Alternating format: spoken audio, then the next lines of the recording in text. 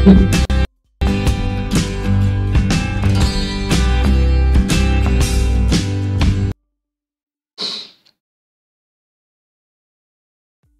भाई good evening और uh, चलो शुरू करते हैं एप्लीकेशंस ऑफ़ ट्रिग्नोमेट्री और uh, एक एक्सरसाइज है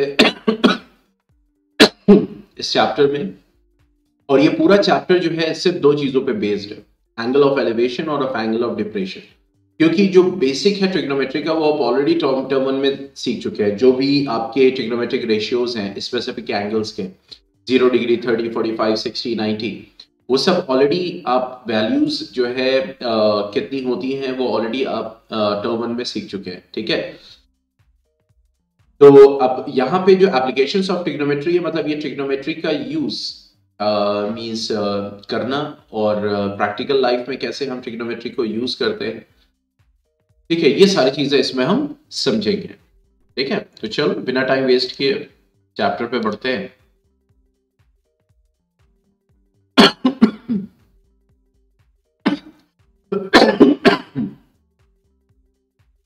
ठीक है।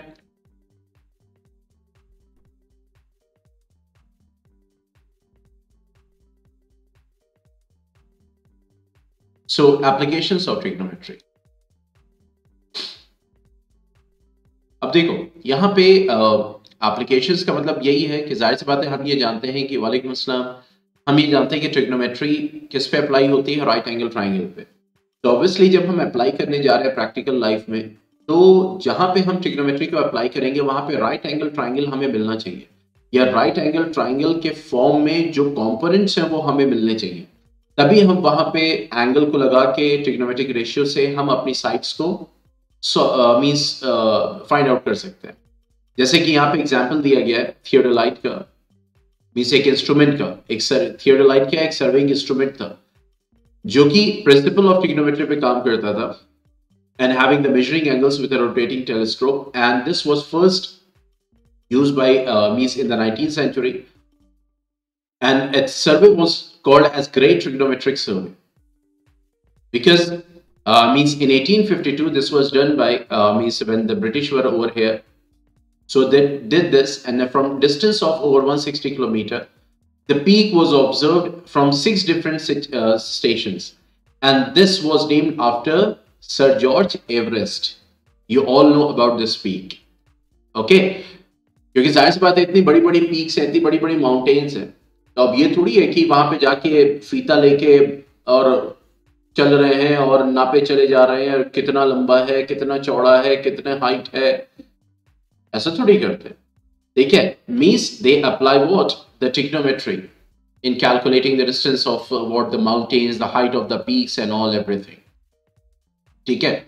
तो अब यहाँ पे अगर हम देखें एप्लीकेशन ऑफ़ टिक्नोमेट्री में जो हम हाइट एंड डिस्टेंसेस मेजर करने वाले तो जैसा कि आप यहाँ पे दिख रहे हो, जैसे यहाँ पे एक ऑब्जेक्ट है। अब देखो, ये जो आपका ऑब्जर्वर है, बहुत ध्यान से समझना। कुछ चीज़ें हैं जो साथ साथ में बताता चला जाऊँगा किस पे आपको ध्यान देना है। ठीक है क्या समझना है? अब ये ऑब्जर्वर है तो अगर ऑब्जर्वर को पॉइंट ऑब्जर्वर कह रहा है, द पॉइंट ऑब्जर्वर तो इसका मतलब ये जो ऑब्जर्वर है, इसकी हाइट वाइट कुछ भी मेंशन नहीं की जाएगी। उस ऑब्जर्वर को एकदम समझा जाएगा कि वो ज़मीन का हिस्सा है। पॉइंट समझ में आ रहा है? लेकिन अगर ऑब्जर्वर की हाइट वाइट मेंशन की गई है कि a boy 1.6 metre tall a girl 1.4 metre tall means इस टाइप से मेंशन किया गया है तो इसका मतलब वो जो ऑब्जर्वर है, उसकी हाइट भी यहाँ पे कंसिडर की जाएगी। वही समझ में आ रहा है?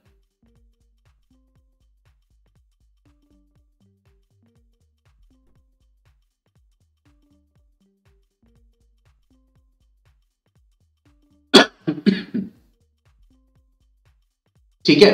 तो यहाँ पे जैसे कि आप देख रहे एक ऑब्जर्वर है जो कि कुतुब मीनार के टॉप पे देख रहा ठीक है? तो देखो, कैसे 90 डिग्री कैसे 90 डिग्री को हम ऑब्ज़र्व करेंगे? यस अभी हम उसको भी करते हो। बैठ ठीक है? तो ये देखो, ये जो लाइन है, ये जो लाइन है, ये कहलाएगी लाइन ऑफ़ साइट यानी जिसके थ्रू देखा जा रहा है, चाहे नीचे से ऊपर देखा जा रहा हो, चाहे ऊपर से नीचे देखा जा रहा हो। This will be considered as what the line of sight पहली चीज़। ठीक है? फिर उसके बाद ये जो ऑब्जर्वर है, जो भी ऑब्जेक्ट देखा जा रहा है, उसकी एक डिस्टेंस होगी यहाँ से। ठीक है? बेसिक डिस्टेंस होगी।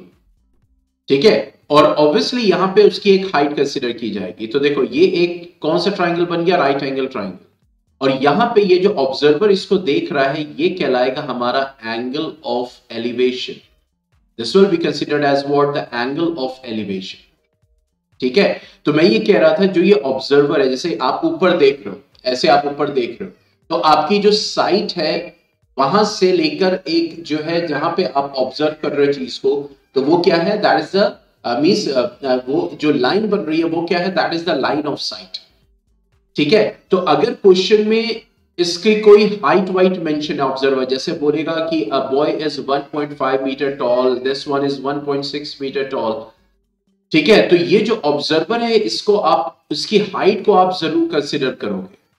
यहाँ पे। ठीक है, और अगर उसमें कोई मेंशन नहीं है, या बोल रहा है पॉइंट ऑब्जर्वर है तो पॉइंट ऑब्जर्वर का मतलब ये हो गया कि जो एंगल ऑफ़ एलिवेशन है, वो आपको सीधा जो बेस है, वहाँ से बनाना समझ में आ रहा है?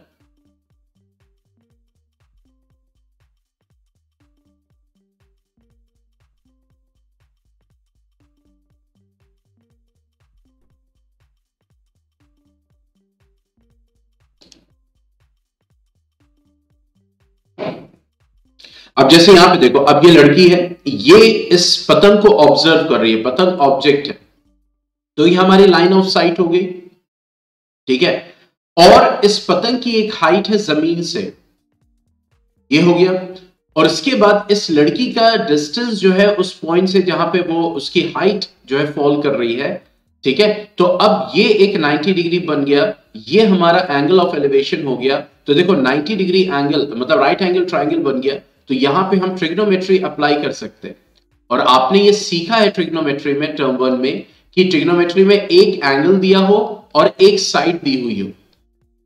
एक एंगल और एक साइड तो आप दूसरी साइड्स भी निकाल सकते हो। निकाल सकते हो कि नहीं निकाल सकते हो? क्योंकि ट्रिग्नोमेट्री दो साइड का रेशियो ही तो होता है। मान लो यहाँ पे ये फाइव मीटर दिया हुआ है और ये एंगल थर्टी डिग्री दिया हुआ है।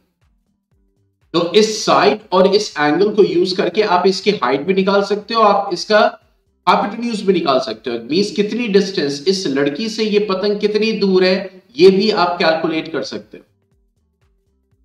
समझ में आ रहा है? एवरीवन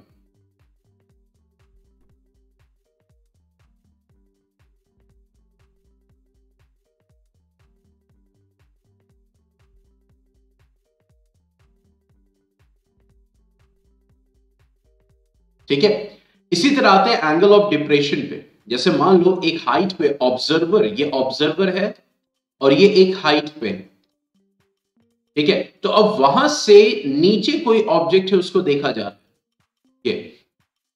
तो ऑब्वियसली जो ये हॉरिजॉन्टल लेवल है, ये जो एंगल बनेगा, ये एंगल जो बनेगा that will be considered as angle of depression that will be considered angle of depression तो देखो, यहाँ पे ये हो गई लाइन ऑफ़ साइट यानी ऑब्जेक्ट और ऑब्जर्वर कितनी दूर है? फिर उसके बाद ये इसकी हाइट हो गई, ठीक है बेस से, और ये इसकी डिस्टेंस हो गई, यानी ऑब्जेक्ट की डिस्टेंस हाइट से, ठीक है? तो देखो, यहाँ पे ये हमारा राइट एंगल ट्राइंगल बन गया। लेकिन अब ये सवाल होगा कि एंगल ऑफ़ डिप्रेशन जो ट्राइंगल के बाहर बन रहा है तो फिर लेंगे क्या? तो देखो एंगल ऑफ़ डिप्रेशन ये है बट जब हम कैलकुलेट करेंगे तो एंगल ऑफ़ डिप्रेशन ये हमारा बन जाए।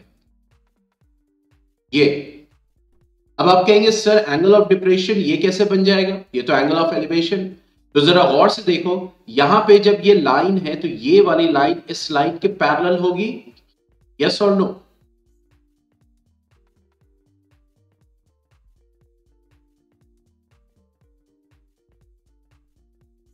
ठीक है? और ये हमारी लाइन ऑफ़ साइट होगी, जो इन दो पैरल लाइंस को इंटरसेक्ट कर रही है। तो अगर ये थीटा होगा तो ये बताओ ऑल्टरनेट इंटीरियर एंगल से ये भी तो थीटा हो जाएगा।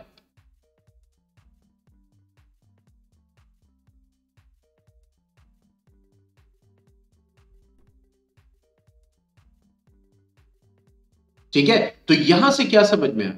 यहाँ से ये समझ में आया कि जब हम कैलकुलेशन करेंगे ठीक है मान लो ये ट्राइंगल बन रहा है, किसी भी बिल्डिंग से मोन्यूमेंट से ऑब्जेक्ट से तो जब हम कैलकुलेशन करेंगे तो अगर उसमें एंगल ऑफ़ एलिवेशन की बात हो रही है, तब भी हम ये एंगल लेंगे। और अगर एंगल ऑफ़ डिप्रेशन की भी बात हो रही है, तब भी ये एंगल यहाँ पे कंसीडर करेंगे। पॉइंट समझ में आ रहा है? यानी एंगल ऑफ़ एलिवेशन के लिए भी ये एंगल कंसीडर करेंगे और एंगल ऑफ़ डिप्रेशन के लिए भी यही एंगल कंसिडर करेंगे। ठीक है, क्यों करते हैं? या अभी मैंने आपको इससे पहले एक्सप्लेन किया।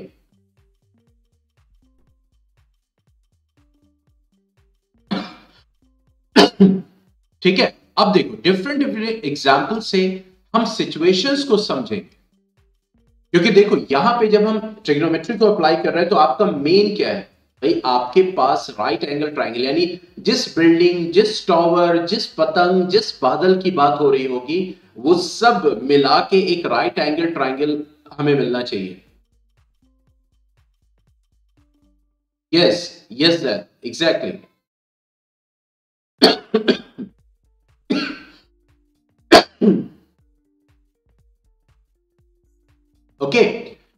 अब यहाँ पे डिफरेंट डिफरेंट सिचुएशंस आपको डिफरेंट डिफरेंट क्वेश्चन से मिलेंगे।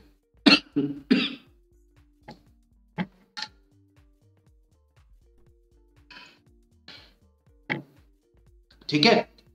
मींस हमारा टारगेट क्या है? हमारा एंगल ऑफ़ एलिवेशन या डिप्रेशन होना चाहिए हमारे पास। दूसरा, जिस कंपोनेंट्स की बात हो रही है, जिन एलिमेंट्स की बात हो रही है टावर की बात हो रही है बिल्डिंग की बात हो रही है कार बिल्डिंग के करीब जा रही है, बादल उड़ रहा है, पतंग उड़ रही है कुछ भी, वो मिलके एक राइट एंगल ट्राइंगल बनना चाहिए। तो कुछ क्वेश्चंस में तो आपको सिंगल राइट एंगल ट्राइंगल मिलेगा जैसे ये। और कुछ क्वेश्चंस में कॉम्बिनेशंस मिलेंगे। तो कॉम्बिनेशन भी बहुत इजी होते हैं। अगर आप कॉम्बिनेशन देखें, देखो कुछ एंगल में तुम्हें एस सिंपल एक ट्राइंगल मिल जाएगा। अब वहीं पे आपको कैलकुलेट करना है। बिल्डिंग की हाइट कैलकुलेट करनी पड़ेगी या बच्चा कितनी दूर है बिल्डिंग से ये कैलकुलेट करना पड़ेगा। मींस या ऑब्जेक्ट कितनी दूर है उस बच्चे से, या उस आदमी से, या उस औरत से, या उस लड़की से, वो आपको कैलकुलेट करना पड़ेगा। या फिर सिचुएशन क्या मिलेगी इस टाइप की? ये।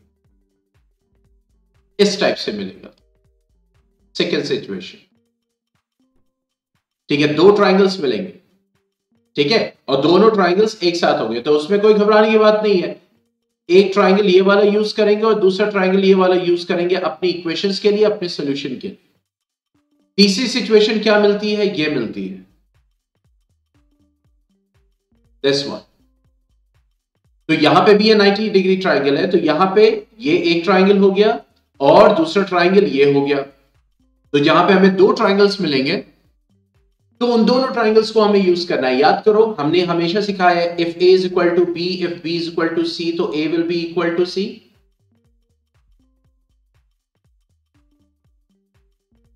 याद आ रही है ट्रिक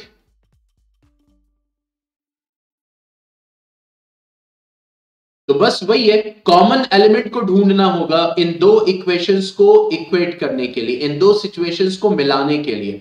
दो ट्राइंगल्स में अलग अलग सिचुएशन होंगे, इनको मिलाना पड़ेगा। तो कोई कॉमन ट्राइंगल चाहिए, वो कॉमन ट्राइंगल ये हाइट हो सकती है कॉमन ट्राइंगल कोई साइड हो सकती है कॉमन पॉइंट कोई एंगल हो सकता है। ज़्यादातर आपको हाइट मिलती है। यानी वो पॉइंट जो दोनों ट्राइंगल्स में कॉमन हो। ठीक है, जैसे इस वाले ट्राइंगल में देखोगे तो बेस दोनों ट्राइंगल में कॉमन है। ए बी सी ट्राइंगल में भी बेस ए सी है और ए डी सी ट्राइंगल में भी बेस ए सी है. समझ में आ रहा है? आई थिंक हिंट समझ में आ रही होगी. मैं सिचुएशंस बता रहा हूँ क्या क्या मिलेगा?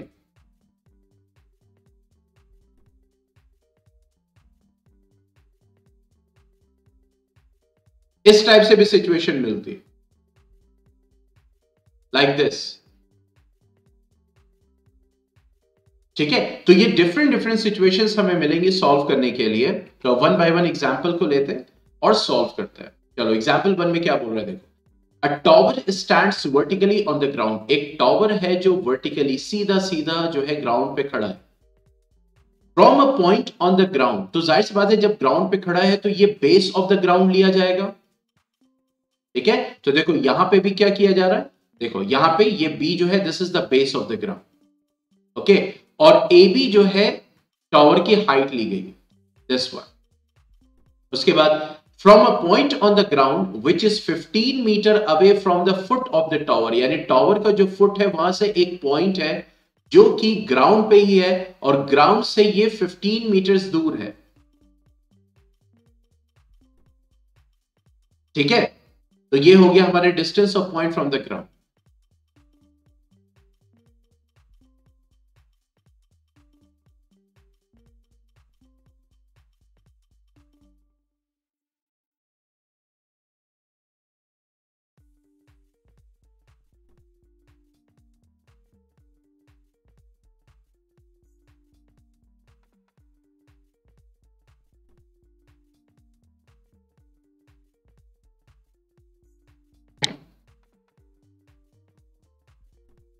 screen is not clear okay just wait for a few seconds now it's clear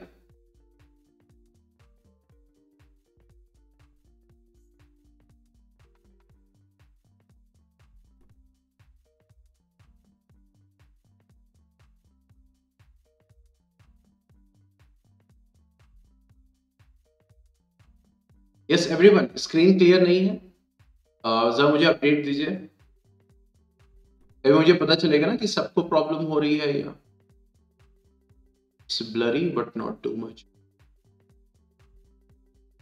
एक बार रीजॉइन करो फिर। चलो रीजॉइन करो।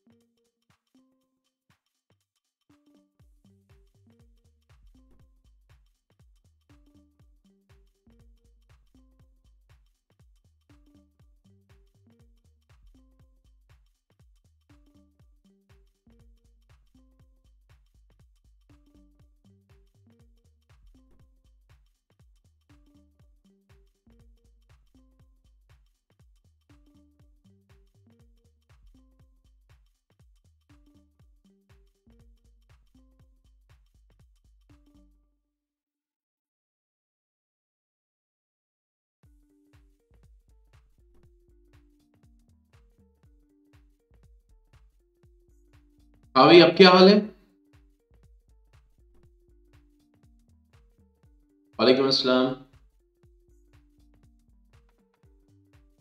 अब कुछ क्लियर है? ओके. तो देखो, यहाँ पे एग्जांपल वन में क्या बोल रहा है? A tower stands vertically on the ground ठीक है the angle of elevation is 60 degree find the height of the tower अब देखो, क्या दिया है और हमें क्या निकालना है? ये आपका फोकस होना चाहिए। ठीक है? तो ये कह रहा है कि ये टॉवर है, मान लो। That is A B tower और this is point C which is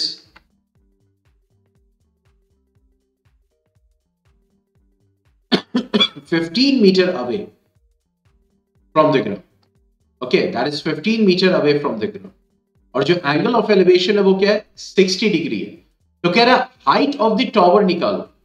तो जब आप सोल्यूशन करोगे इसका तो ज़ाहिर सी बात है, जो जो चीज़ें दी हुई है वो आप मेंशन करोगे। BC is what 15 metres angle of elevation is what 60 degree निकालना क्या है हमें? A B that is height of the tower ठीक है, अब देखो, ये वाली साइड दी हुई है, ये हमें निकालना है।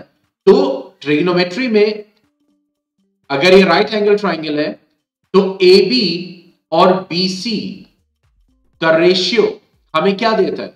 ये हमारा परपेंडिकुलर हो गया, ये हमारा बेस हो गया। तो P बाई बी हमें क्या देगा? कौन सा ट्रिग्नोमेट्रिक रेशियो देगा?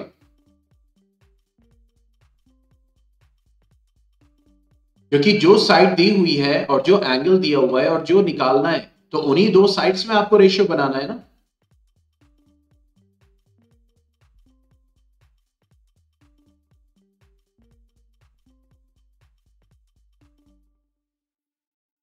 तो P बाई बी ये परपेंडिकुलर हो गया और ये बेस हो गया तो P बाई बी कौन सा रेशियो देता है? Perpendicular upon base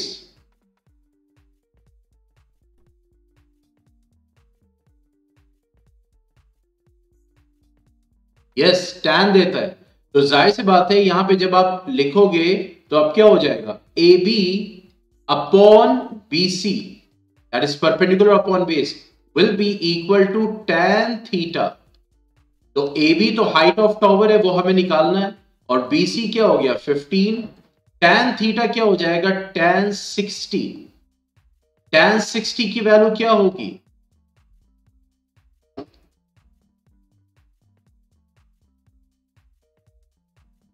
What will be the value of tan 60? Yes, that is root 3 meters. तो आंसर क्या हो गया हमारा? 15 root 3 meters. So therefore, the height of tower. अब देखो, अगर आप यहाँ पे पहले से मेंशन कर दोगे हाइट ऑफ़ टॉवर देखो, दो चीज़ें यहाँ पे कैसे आप अपना टाइम सेव कर सकते हो यहाँ पे अगर आपने मेंशन कर दिया height of tower AB is equal to ऐसे तो अब यहाँ पे जब आप ए बी कैलकुलेट करोगे तो ये आपका फाइनल आंसर यहाँ पे ये लिखने की ज़रूरत नहीं पड़ेगी। ठीक है? तो ये हो जाएगा height of tower is equal to 15 root three metres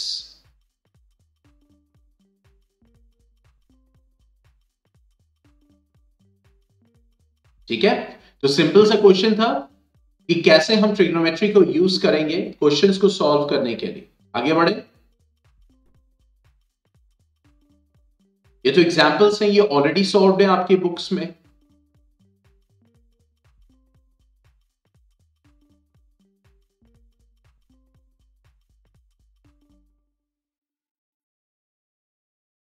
ठीक है? अब नेक्स्ट एग्ज़ाम्पल को समझते हैं।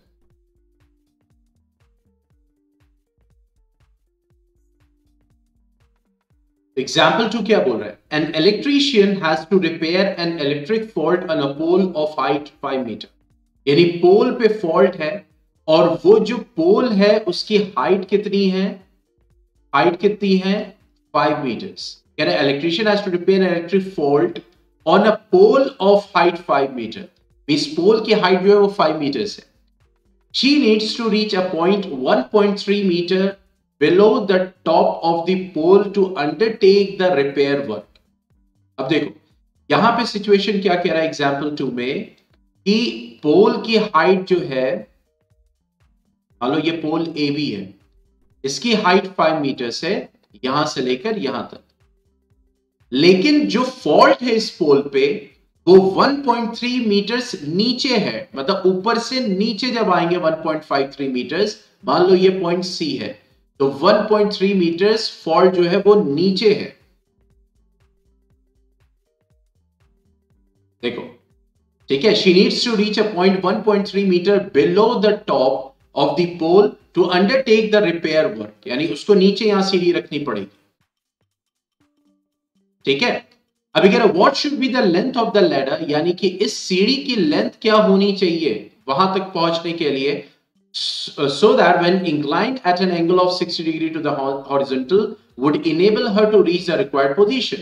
यानी अगर ये सीढ़ी 60 डिग्री और एलिवेशन पे रखी जाएगी तो कितनी लंबी सीढ़ी लेनी पड़ेगी ताकि वो उस पोजीशन पे पहुँच जाए काम करने के लिए? यानी किस पोजीशन पे? ए या सी किस पोजीशन पे पहुँच जाए? ए पोजीशन पे कि सी पोजीशन पे?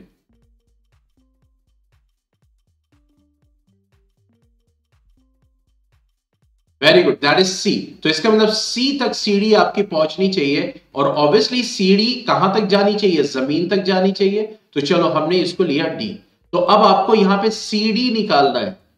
यह आपका हो गया 60 डिग्री। ठीक है? तो अब देखो, यहाँ पे क्या मेंशन करेंगे? यानी अब देखो फाइव मीटर आपकी पोल की हाइट थी, लेकिन क्या फाइव मीटर यहाँ पे डायरेक्टली हम लेंगे? क्योंकि हमारा टिग्नोमेट्री यानी राइट एंगल ट्राइंगल जो बन रहा है, वो बीसीडी बन रहा है। लेकिन जो बीसी है, वो हाइट लेंगे, ना कि फाइव मीटर लेंगे।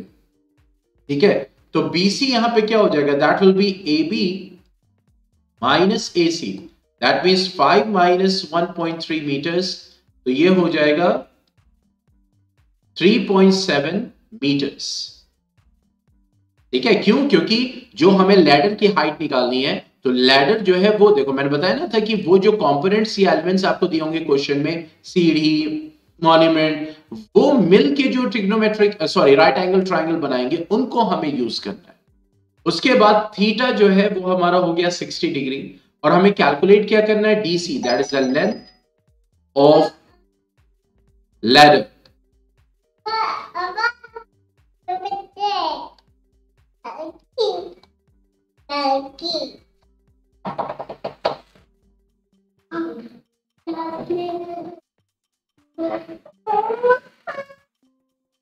अच्छा अब आप, अब क्लास के बाद ना क्लास के बाद आपके क्लास ठीक है?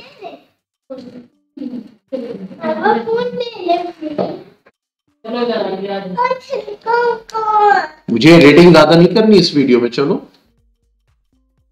हाँ।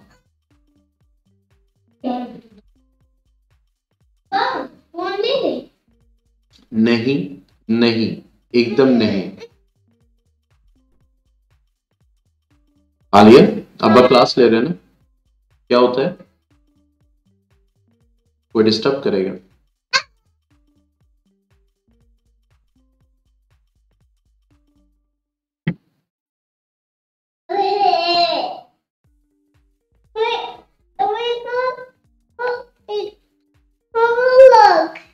ये इनको आलिया को ले जाओ।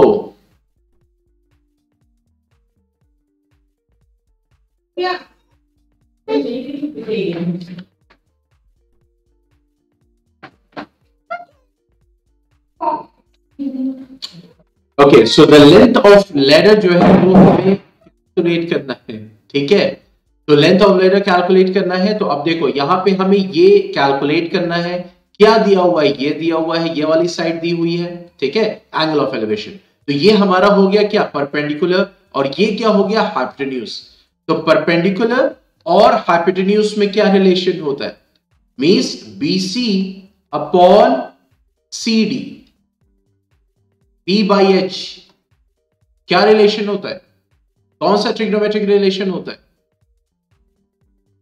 क्योंकि जो दो साइड हमें दी हुई है आ, मतलब एक साइड जो दी हुई है और जो निकालना है उन्हीं का रेशियो लोगे ना तुम? यस एवरीवन श्वेता ने कहा साइन कश्यप ने भी sine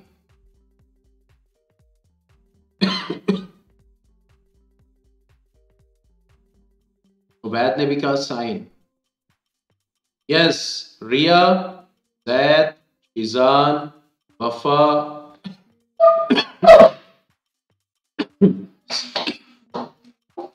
Okay, sine. Yes, that will be sine. So that will be sine theta perpendicular upon hypotenuse. तो BC कितना है 3.7 CD हमें कैलकुलेट करना है और ये हो जाएगा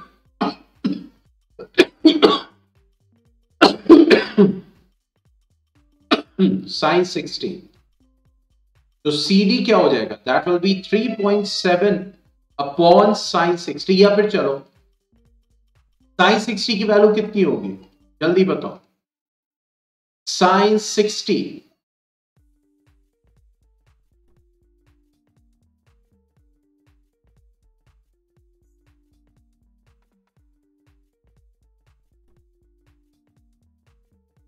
Yes, that is root three by two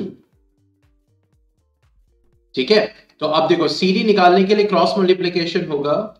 तो CD क्या हो जाएगा? That will be two into three that is 7.4 upon root 3 meters. Okay, so this will be the height of और अगर आप इसको रेशनलाइज करना चाहते हैं that is the length of the ladder ठीक है? तो रेशनलाइज करना चाहते हैं तो रूट थ्री से ऊपर मल्टीप्लाई करेंगे और रूट थ्री से नीचे मल्टीप्लाई करेंगे। ये तो करते हैं। ठीक है? तो यहाँ पे क्या हो जाएगा? T will be equal to 7.4 divided by 3 तो ये हो जाएगा 3 टू द 6 3 4 ज 12 थ्री सिक्स है two point four six root three या फिर आप दोनों को मल्टीप्लाई करके भी लेंथ निकाल सकते हैं। रूट थ्री की वैल्यू कितनी ले लेंगे? That will be one point seven three two what the point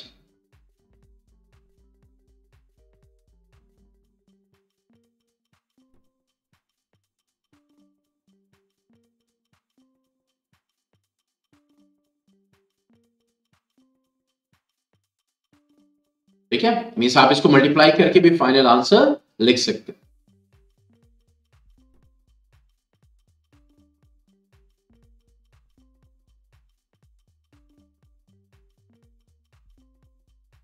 जैसे कि यहाँ पे दिया हुआ है।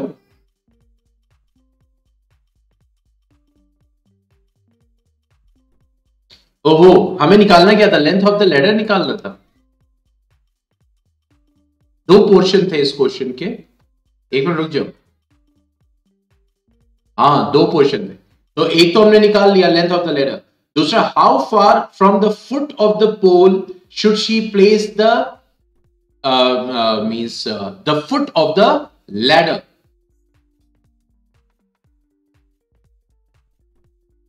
ठीक है? हमें दो पॉइंट्स को दो पॉइंट्स को सॉरी uh, दो क्वेश्चन तो एक क्वेश्चन तो हमने सॉल्व कर लिया। कि लैडर की डिस्टेंस कितनी होगी? ठीक है लैडर की डिस्टेंस कितनी होगी? ठीक है, अब ये पूछ रहा है कि जो पोल है, उससे लैडर कितनी दूर होगी? दूसरा पॉइंट यानी ये पोल है। ठीक है तो ये हमारा फाइव मीटर्स था। ठीक है 1.3 मीटर ये यहाँ से आ गया। ये हमारा था ए मानो बी सी एंड डी और फिर उसके बाद ये हमारा हो जाएगा यहाँ से यहाँ तक 3.7 मीटर्स ठीक है? ये हो गया 60 डिग्री अब ये पूछ रहा है कि पोल से सीढ़ी कितनी दूर रखी रहेगी? कितनी दूर आप रखोगे? ठीक है? तो अब यहाँ पे परपेंडिकुलर कंसिडर किया जा रहा है और यहाँ पे बेस कंसिडर किया जा रहा है। सेम क्वेश्चन को कंटिन्यू कर। तो परपेंडिकुलर अपॉन बेस तो क्या होता है? टेन तो ये हो जाएगा C B upon C D that is perpendicular upon base तो क्या टिग्नोमेट्रिक रेशियो हो जाएगा? टेन सिक्सटी अब हमें क्या निकालना है? सी बी दिया हुआ है थ्री पॉइंट सेवन और सी डी हमें कैलकुलेट करना है। और टेन सिक्सटी हो जाएगा रूट थ्री तो सी डी कितना हो जाएगा? Three point seven upon root three अब इसको रेशलाइज करेंगे तो रूट थ्री और रूट थ्री से मल्टीप्लाई और डिवाइड कर देंगे। तो ये हमारा हो जाएगा 3.7 रूट थ्री अपॉन थ्री तो ये हमारा हो जाएगा थ्री वन जा थ्री थ्री टू जा सिक्स और थ्री थ्री जा नाइन इंटू और रूट थ्री की वैल्यू होती है 1.73 यहाँ पे लिख देंगे since root three is equal to 1.73 याद रखिए, कोई रूट्स वैल्यू होगी ना तो वो आपको क्वेश्चन में ज़रूर दी हुई होगी। ठीक है? तो अब आप इसको मल्टीप्लाई करेंगे। और जो आपका आंसर आएगा, वो आपकी डिस्टेंस हो जाएगी कि कितनी दूर जो है वो सीढ़ी रखी जाएगी उस पोल से। गॉट द पॉइंट तो इस क्वेश्चन के दो पार्ट थे। एक तो था लेंथ ऑफ़ लैडर निकालना। तो हमने सॉल्व किया। दूसरा था कि लैडर कितनी दूर रखा जाएगा पोल से ताकि हम उसको वहाँ पे प्लेस कर सके। तो ये दो पोर्शंस थे इस क्वेश्चन के।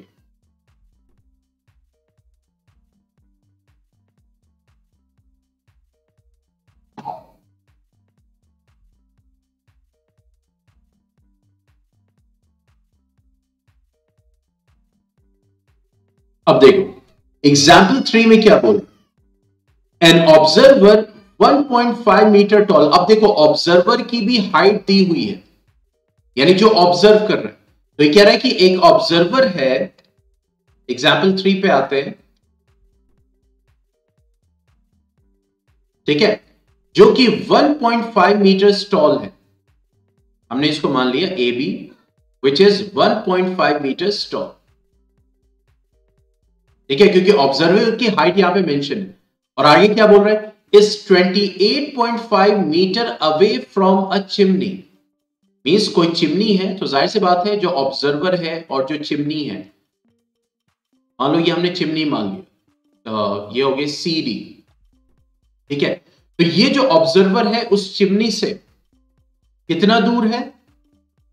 दैट इज़ 28.5 मीटर्स अवे तो ये डिस्टेंस जो हमें दी हुई दैट इज़ 28.5 मीटर्स ये ये जो ऑब्जर्वर है, जो भी हो, वो चिमनी से इतना दूर है। तो ये आप क्या करोगे? ज़ाहिर बात है ऑब्जर्वर का जो बेस होगा और जो चिमनी का बेस होगा, वो आप सेम रखोगे। ठीक है? लॉजिकली सेम रखोगे। आगे क्या बोल रहे हैं? The angle of elevation of the top of the chimney from her eyes is 45 degree मतलब ये जो लड़की है, ये जो ऑब्जर्वर है, जो 1.5 मीटर टॉल है तो इसकी आँख से और जो चिमनी का टॉप है, उसका एंगल कितना बन रहा है? 45 डिग्री अब देखो दो चीज़ें हैं। अगर ये 1.5 मीटर टॉल नहीं देता तो हम 45 डिग्री यहाँ से लेते ऐसे बनाते ठीक है? लेकिन ये बोल रहा है कि 1.5 मीटर टॉल लड़की है और उसकी आँख से तो ज़ाहिर सी बात है, आँख यहाँ पे होगी। तो यहाँ से जो है, उसका जो टॉप है चिमनी का, वो वो देख रही है। तो वो जो एंगल बना रही है, वो 45 डिग्री बना रही है। तो ये बताओ एंगल जो बेस आप लोगे, उसका बेस जो लोगे, एक इमेजिनरी बेस वो यही होगा ना? 45 डिग्री ऐसे तो नहीं बनाएगा यहाँ से लेकर यहाँ तक।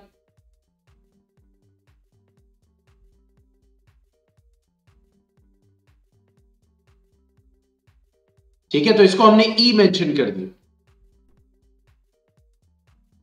ठीक है तो कह रहा what is the height of the chimney यानी चिमनी की हाइट निकालो। यानी हमें क्या निकालना है? डी से लेकर सी तक निकालना है। हमें चिमनी की हाइट निकालनी है। अब गौर से देखो, बहुत ध्यान से समझना। हमें निकालना क्या है? चिमनी की हाइट ठीक है? अब चिमनी की हाइट है डीसी डीसी जो है वो सीई प्लस ईडी मिलके होगा। अब ट्रिग्नोमेट्री लगाओगे तो ये बताओ ट्रिग्नोमेट्री क्या इस रेक्टेंगल पे तुम लगाओगे?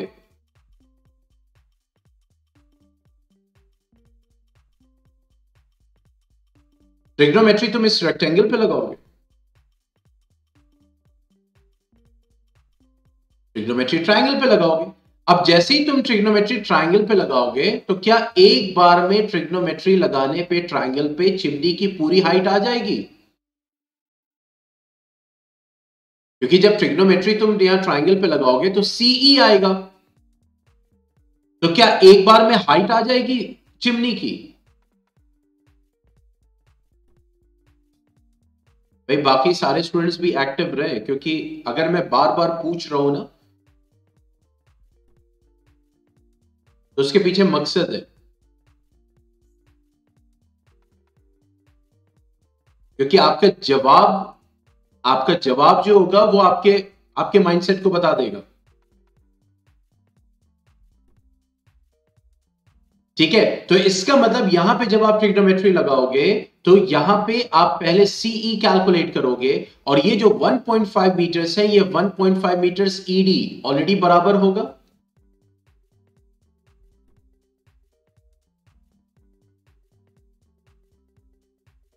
ठीक है? और BD के इक्वल AE होगा। ये भी 28.5 मीटर होगा। तो सबसे पहले हाइट ऑफ़ चिमनी निकालने के लिए हमें सीई e चाहिए और सीई e जो है वो ट्राइंगल का पार्ट है।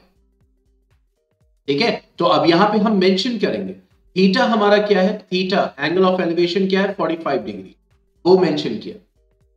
ठीक है? और डायग्राम बनाना इज़ वेरी इंपॉर्टेंट क्योंकि यहाँ पे तुम लिखो, इससे अच्छा है डायग्राम बना के वहाँ पे मेंशन कर दो तो बहुत सारी चीज़ें तुम बच जाओगे और तुम्हारा टाइम वेस्ट नहीं होगा उसके ऊपर। क्लियर थीटा यहाँ पे क्या हो गया? 45 डिग्री हो गया। क्लियर और हमें क्या निकालना है? Height of chimney height of chimney that is DC ये हमें निकालना हाइट ऑफ़ गर्ल जो कि क्या है? ए बी वो दिया हुआ है 1.5 मीटर्स तो जो इंफॉर्मेशन यहाँ पे लिख देते हैं E D is equal to A B is equal to 1.5 metres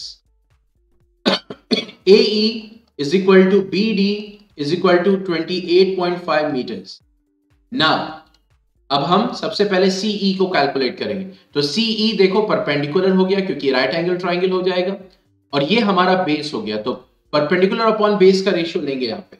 तो CE upon A will be equal to tan forty five degree तो सीई e हमें कैलकुलेट करना है। ए हमारा क्या है? 28.5 और tan 45 की वैल्यू होगी वन तो सीई भी हमारा क्या आ गया? 28.5 मीटर्स ये हमारा सीई आ गया। ना हाइट ऑफ़ चिमनी ऑलरेडी हम मेंशन कर चुके हैं। तो डीसी क्या हो जाएगा? That will be CE plus ED that means 28.5 plus 1.5 metres ठीक है? तो ये हो जाएगा हमारा 30 मीटर्स ये हमारा फाइनल आंसर कोई डाउट इसमें?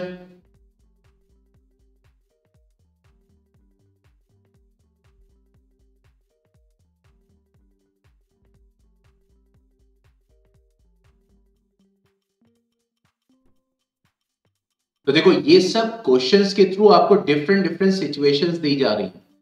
यही सब सिचुएशन मिल रही बस आपको यही ध्यान देना है भाई, ये वाला पार्ट निकालना है कि पूरा पार्ट निकालना है। वहाँ पे सिर्फ़ कॉमन सेंस काम करेगा। और बेसिक ट्रिग्नोमेट्री बस, और कुछ नहीं है। बहुत सिंपल चैप्टर है। ज़्यादातर आई डोंट नो स्टूडेंट्स ज़्यादातर इस चैप्टर से घबराते हैं। लेकिन अगर वो कॉन्सेप्चुअली स्ट्रांग है ना, कि भाई ट्रिग्नोमेट्री है तो मुझे ट्राइंगल सर्च आउट करना है। और ज़ाहिर सी बात है ट्राइंगल जो है, जो गिवन हमें जो गिवन इंफॉर्मेशन है, जो निकालना है हाइट निकालना है तो ज़ाहिर सी बात है, वो हाइट डायरेक्ट ट्राइंगल में पड़ रहा है। या फिर जैसे अभी पिछला वाला क्वेश्चन ही सॉल्व किया तो उसका एक पार्ट ट्राइंगल में पड़ रहा था एक पार्ट जो है हमें रिलेट करना पड़ा हाइट ऑफ़ द गर्ल से। तो बस see the common sense basic trigonometry देखो आ गया नेक्स्ट वाला क्वेश्चन यहाँ पे वही आ गया। देखो एग्ज़ाम्पल फोर सेकेंड जो हमने आपको एक और सिचुएशन दी थी। क्या बोल रहे हैं? From a point P on the ground, the angle of elevation of the top of a 10 meter tall building is 30 degree. ठीक है? यानी एक ग्राउंड पे पॉइंट पी है और वहाँ से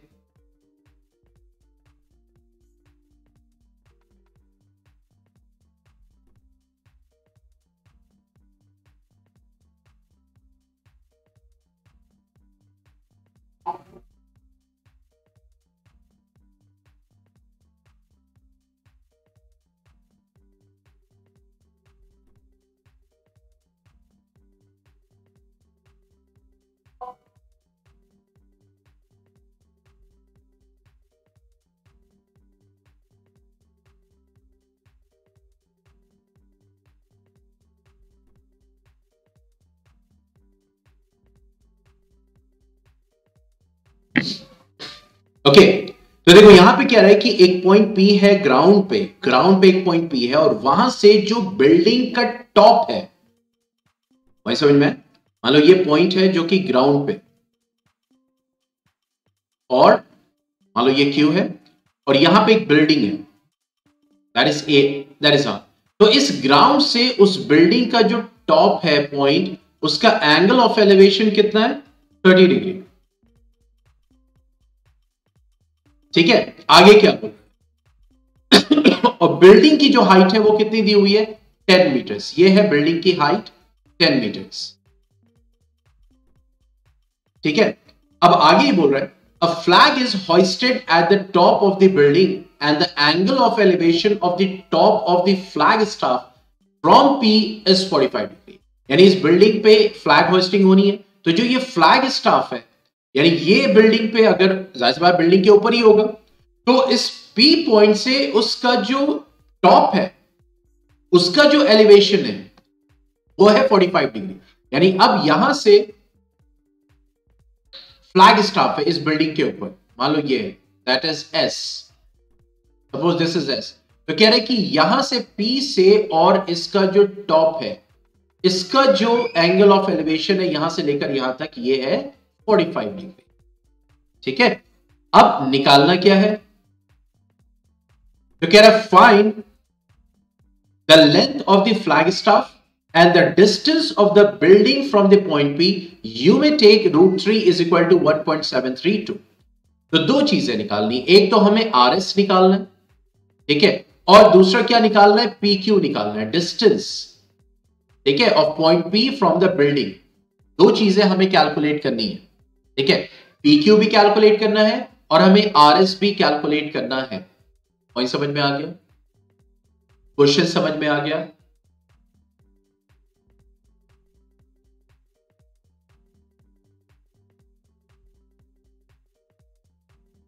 जल्दी जल्दी बताओ। अब देखो, आप अपनी ट्रिग्नोमेट्री किसके ऊपर अप्लाई कर सकते हो? राइट एंगल ट्राइंगल पे? तो यहाँ पे मुझे दो राइट एंगल ट्राइंगल मिल रहे हैं। पहले ये मैं ब्लू वाला जरा देखूँ। अब इस राइट एंगल ट्राइंगल को अगर मैं देखूँ तो मुझे बिल्डिंग की हाइट भी यहाँ पे पूरी पूरी मिल रही है। और जो मुझे क्यू निकालना है, वो मैं इससे निकाल सकता हूँ। यानी इस ट्राइंगल से हम क्यू कैलकुलेट कर सकते हैं। मिल गया एक पॉइंट दूसरा, हमें फ्लैग स्टाफ निकालना था। तो फ्लैग स्टाफ अच्छा ये बताओ, यहाँ पे ये जो मेरिट से आउटलाइन कर रहा हूँ, क्या ये राइट एंगल ट्राइंगल बन रहा है?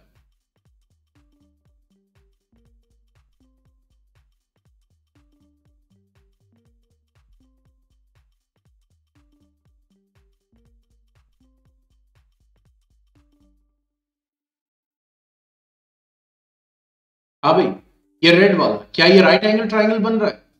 पी आर एस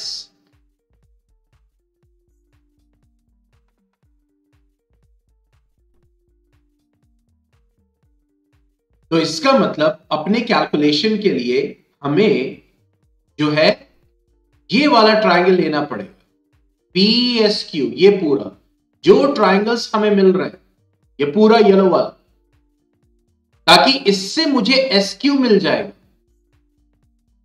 और एस क्यू में से आर क्यू माइनस कर देंगे तो ये हमारा आ जाएगा S R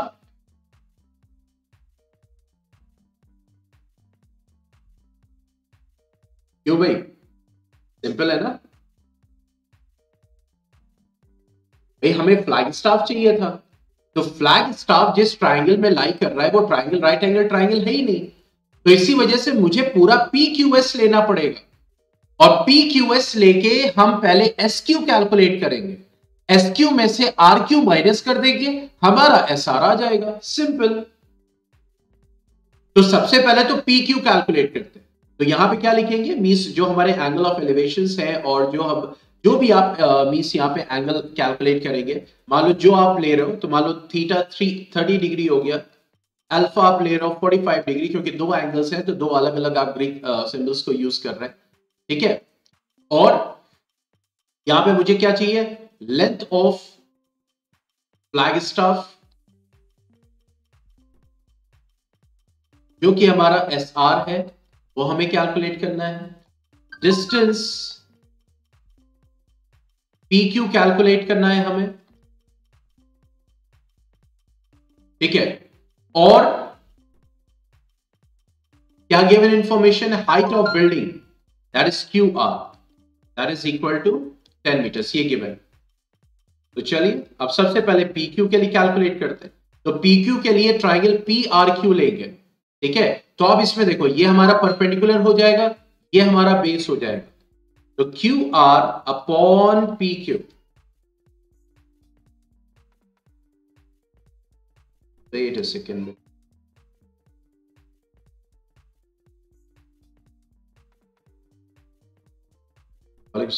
Um, see, Sarish, uh, the work will be submitted. There may be some network issue because every student is submitting over and over again. So uh, just try it. It will be submitted. Don't worry for that.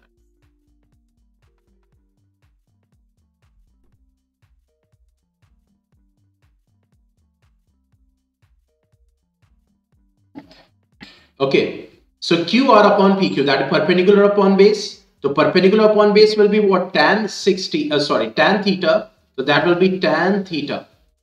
So QR is 10 meter. PQ we have to calculate and that will be tan 30. So 10 upon PQ, tan 30 will be 1 by root 3. So that means PQ is equal to 10 root 3 meters.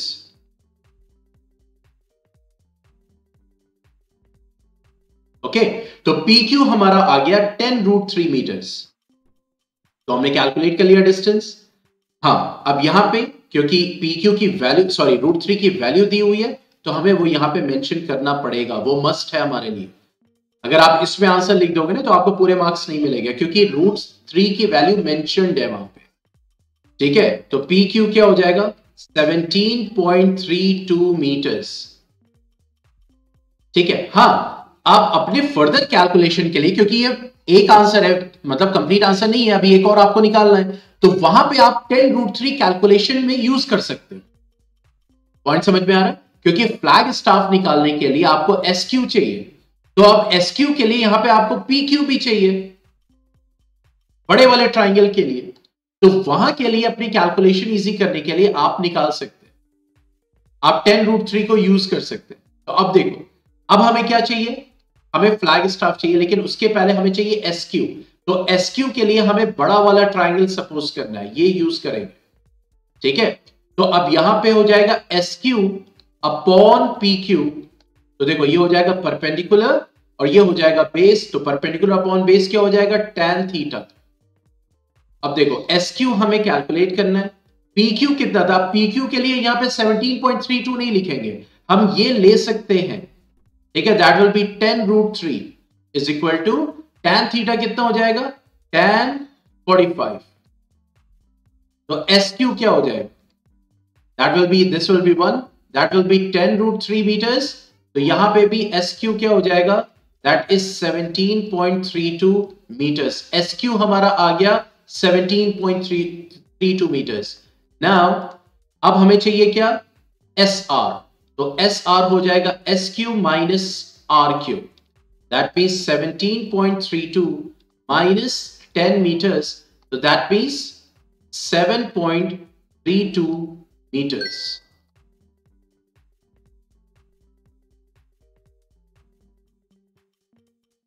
Yes, any doubt?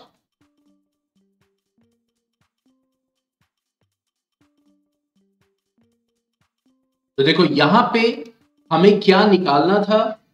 यानी हमें distance निकालनी थी, हमें ये सिर्फ़ इतना part निकालना था तो इन दो ट्राइंगल्स को कैसे हमने यूज़ किया?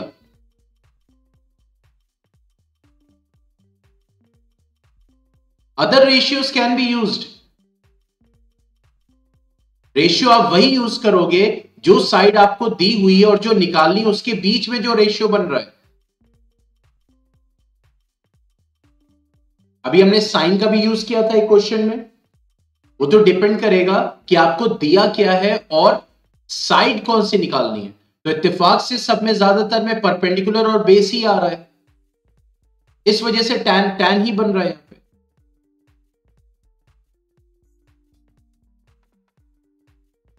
ठीक है?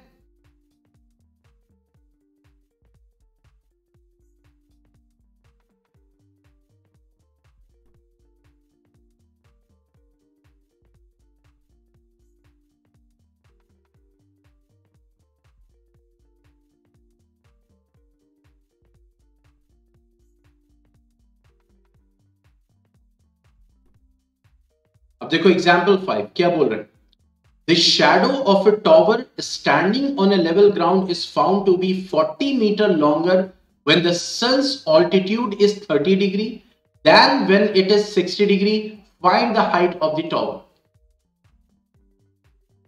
ठीक है अब देखो यहाँ पे ये कह रहा है कि मान लो ये टॉवर है this A B is tower ठीक है अब यहाँ पे मान लो सन यहाँ पे नहीं होगा। मान लो यहाँ पे। ठीक है?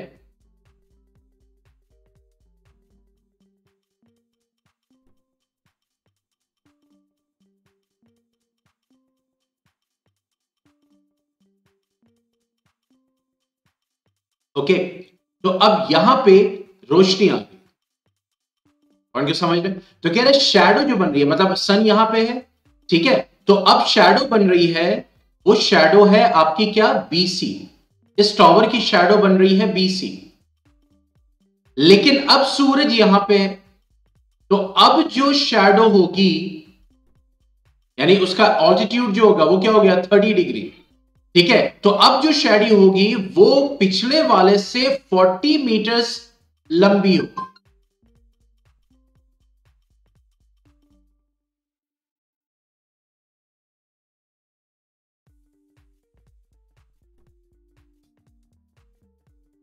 पॉइंट समझ में आ गया?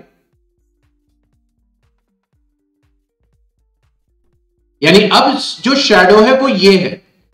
पहले शेडो यहाँ पे थी।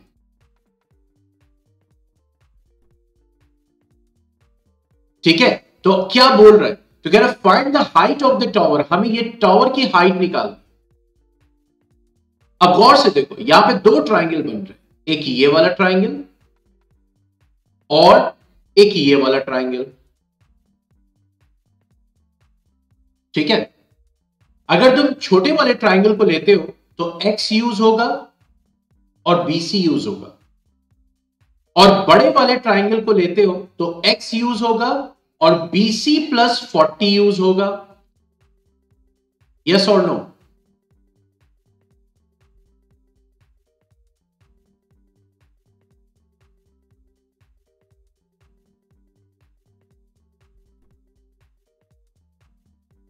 अब देखो, यहाँ पे कॉमन क्या है इन दोनों ट्राइंगल्स में? ए बी मतलब एक्स लेकिन यही एक्स तुम्हें कैलकुलेट करना है। अब जो पॉइंट यहाँ पे बता रहा हूँ, बहुत ध्यान से समझना। कॉमन पॉइंट यहाँ पे है एक्स लेकिन ये एक्स तुम्हें कैलकुलेट करना है। कुछ क्वेश्चंस तुम्हें ऐसे मिलेंगे, जहाँ पे ये कॉमन पॉइंट इसकी कोई ज़रूरत आगे नहीं पड़ेगी। इसलिए इस पॉइंट के टर्म्स में हम एलिमिनेट कर देते हैं। मान लो, जैसे A is equal to B B is equal to C तो हम कॉमन पॉइंट तो बनाएँगे, लेकिन यहाँ पे ए और सी को इक्वेट करना रह जाए। बट यहाँ पे आप क्या देख रहे हो? यहाँ पे जो एक्स है, यानी जो ए बी हाइट है, ये इस छोटे वाले ट्राइंगल में भी है और इस बड़े वाले ट्राइंगल में भी आ रही है। और इसी हाइट को तुम्हें कैलकुलेट करना है। तो देखो जरा गौर से, या इस छोटे ट्राइंगल में तुम्हें साइड बीसी भी मिल रही है। ठीक है? लेकिन क्या इस बीसी की कहीं ज़रूर मतलब आंसर्स में आपको बीसी चाहिए? क्या पूछ रहा है कि कितनी लंबी शेडो है? इस टाइप का कुछ पूछ रहा है।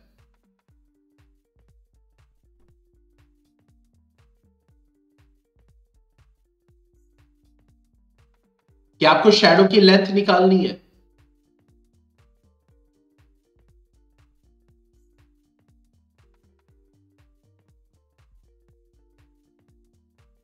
नहीं निकाली ना। लेकिन जब आप इस ट्राइंगल को यूज़ करोगे, देखो, ये एक्स मान लिया तुमने। तो अब इस ट्राइंगल को जब लोगे तो यहाँ पे एक्स है और यहाँ बीसी है। अब आप कह रहे हैं, सर, आप एसी के टर्म में क्यों नहीं आप इक्वेशन या रेशियो ले रहे हो? तो बेटा एसी का कोई यूज़ नहीं है ना। आप लिंक नहीं कर सकते। यहाँ पे बीसी जो है, इस दूसरी वाली साइड का पार्ट है और यहाँ पे इसकी वैल्यू भी दी हुई है। इस वजह से हम यहाँ पे जब इस वाले ट्राइंगल को यूज़ करेंगे तो ये हो जाएगा हमारा x और BC तो देखो, x अपॉन BC तुम्हें लेना ही पड़ेगा टेन सिक्सटी हो जाएगा। अभी मैं सिर्फ़ एक्सप्लेन कर रहा हूँ। तो जब x अपॉन BC ले रहा हो, इसका मतलब BC कहीं ना कहीं तुम्हारा आएगा। बट BC तुम्हें एंड में ज़रूरत नहीं है। तो इसका मतलब तुम्हारा टारगेट ये रहेगा कि इस BC को किसी तरह से एलिमिनेट किया जाए। पॉइंट समझ में आ रहा है? स्ट्रैटेजी समझ में आ रही है? समझाने में थोड़ा सा लंबा है, लेकिन जब करोगे तो बहुत ही सिंपल स्टेप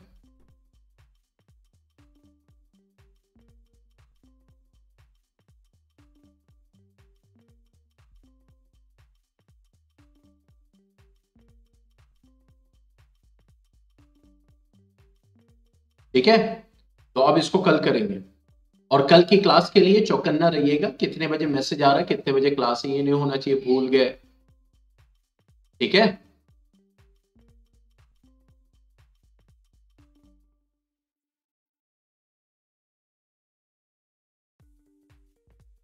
चलो फिर। Okay then stay home stay safe good bye अस्सलाम वालेकुम